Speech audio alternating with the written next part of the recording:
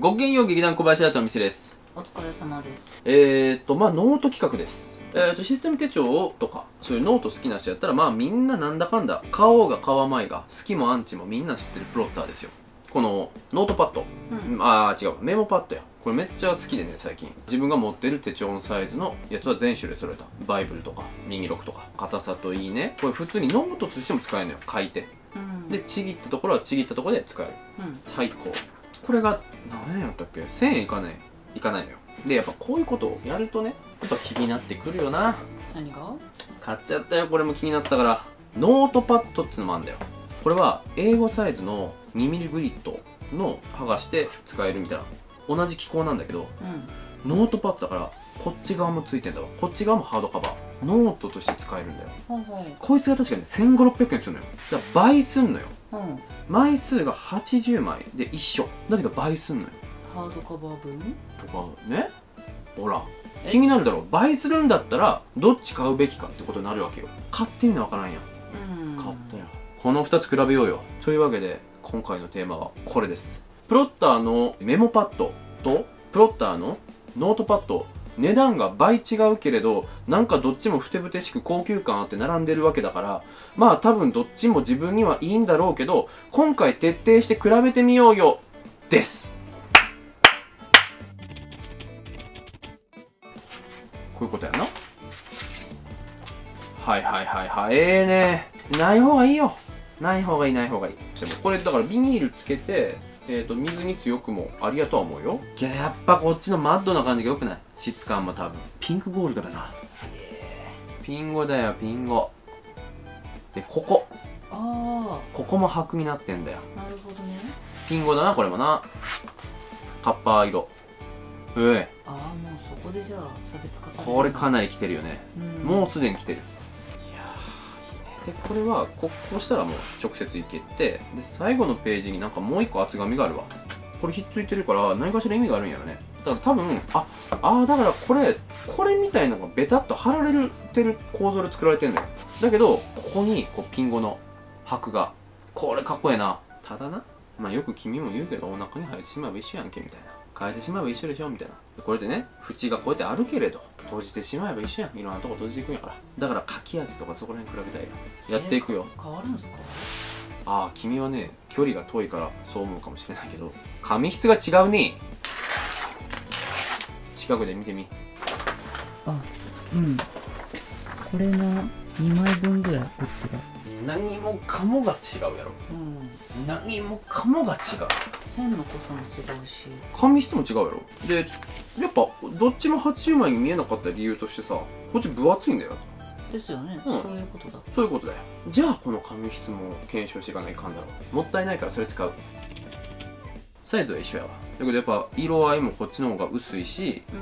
まあ、こっちの方がいわゆる普通の紙っぽい。こっちがなんかいわゆるあの特殊紙だよな。薄い紙みたいな。うんまあにじみそうなものでいくよ。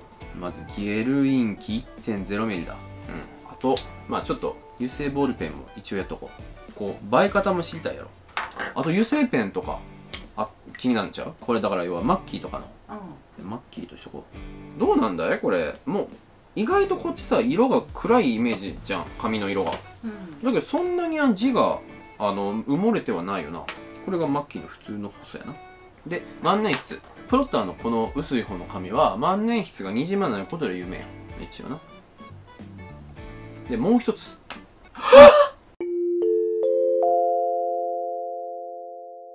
次顔料インク。こっちも試さなあかんわ。はい。まあどうせこれおまけにいってるからなんか手とエグいことになってるなってなってんやろうけどなんねこれは顔料やな。はいこうですわ。裏よな。裏抜け。どんなもんか。あーこれ面白い結果が出たね。これマッキーはどうしようもないわ。うん。抜け抜け風抜け抜け風風よ。マッキーは両方アウトですね。アウチはゲールインキ1.0いが抜けてんだよちょっとね。エナージェルのジュルジュルは抜けるのよ、うん、だから俺結構手帳はサラサにしてたのよ。こっちやっぱ抜け方が全然違うんじゃない？まあその触った感覚ですけど倍2枚分ぐらいあるから。うんうん。やっぱ抜け感が。ゲルインキは出るね。で万年筆すごいな。本当にプロッターさん万年筆に対してのこの執念を感じるよね。1ミリも抜かせないみたいな。顔料が若干こっち弱い。ああそうなんだ。ちょっと出てる。うん。ちょっとな。けどこっちはもう全然許容許容。すげえでこれなんかこのブチ事故起こったんよ。裏からやったらどこに漏れたかわからないぐらいの勢いよ。これすごいね。やっぱ万年筆ゲロ強やね。なんかちょっと抜け感でいくとまあ基本的にマッキーとかってさあんまり紙に書くということを想定しないやん、えーガラスにも書けるしプラスチックにも書けるみたいな。そういうちょっとやっぱ意味合いが強いじゃないだから紙に書くを想定したペンでいけばかなり守備範囲でかいよ。マッキー以外は基本取りこぼさない。ゲルイン系ナージルの1.0のジュルの端がちょっと黒く見えるぐらい。こっちはゲルイン機は取りこぼした。な完全に取りこぼした。とにかく万年筆には激強でいいんじゃないですか。でこれはちょっと値段の差あるよ。こっちの方が高い紙の方が取りこぼさない守備範囲は広い。ただこの分厚さだよね。分厚さは気になるよ。同じ枚数でこんだけ差が出るわけだから。2ミリぐらい差が出てる。からやっぱ分厚いんだよこっちの方が、まあ、デメリットでしょうね。分厚いことはデメリットだと思うよ。システム手帳に挟むんだったらただでさえプロッターで揃えたりしたらプロッター細いからさ。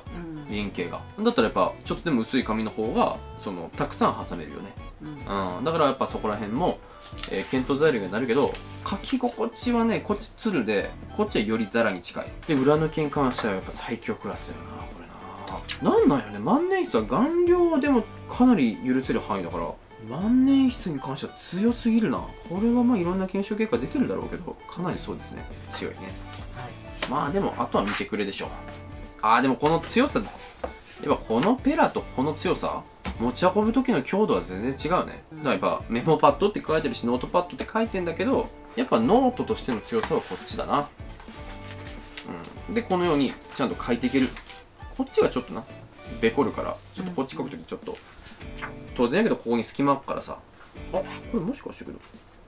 こうか。こうやって折ったらいいんだ。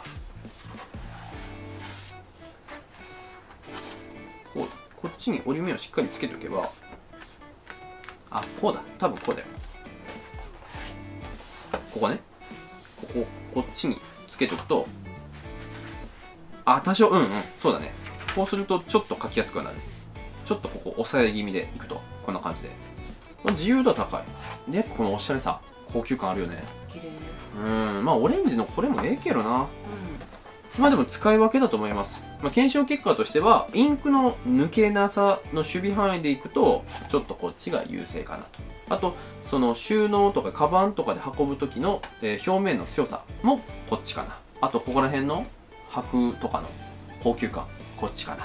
で、これの強さでいくと、紙の薄さ。だから、たくさん挟みたいっていう時には、挟む用のリフィルを作る時には、やっぱこっちの方が枚数がたくさん、え使えますよって点で、こっちが有利かなと。で、えー、とこの表紙ってさこれは剥がせるわけよだからあのシステム手帳にこうやって挟んでおくとかっていう手軽さでいくとこっちが有利かなとでだ要は中身に関して言えば、えー、とゲルインキをちょっと取りこぼす以外はほとんど関係ないのに薄さが勝ってて値段が3分の1ぐらい値段っていう良さですね。システム手帳の中では A5っつったらやっぱもうシステム手帳にもう狂った人。システム手帳の沼でもう悠々と泳いでる人じゃないと A5ってあんま手出せないよね、うん、だけどこの A5に関してこのノートパッドが出てる感じ。これがあのプロッターのこの狂気じみたとこだよね。だけど私はここにグッと来ている。これ、えー、と迷ってる方に対してね。うん。まあ何かしらの参考になればいいかなと思います。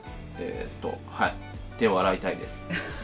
えーこの動画がいいなと思った方はぜひチャンネル登録、高評価して応援していただけると嬉しいです。えー、Twitter、Instagram、YouTube にて、ハッシュタグイマルミンというものが存在しております。こちらの方を活用していただきますと、私たちみたいなあのズブの素人じゃなくて、えー、ともう文房具愛好家の方がたくさんいろんな情報を、えー出してて、えー横のつながりもできて、そちらも、えー、と一つ、イマイルームの魅力だったりもしますので、えーそちらの方も活用していただけると嬉しいです。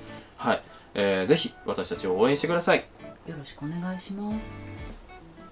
おしまい。そのタイトルコール考えとったんですか？いやもう考えた。あいやこういうテーマであのあんま見せたくないけど一応企画書はあるよ。あ。けどここはまあなんかこうこういう感じで喋るっていうのはあの感じ出ないんだよ。文字決めてたらわかる？その要はセリフを覚えてるとあうん。あのなんかちょっとグダッとした感じだけど長文な感じ出ないからうん。一応今考えるようにしてるよ、あう。ん、そういう裏話はねいいとしてもでもう一つ。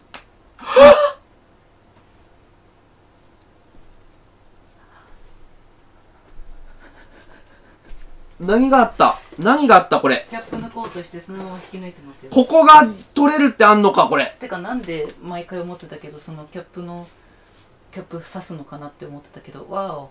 オーマイガー。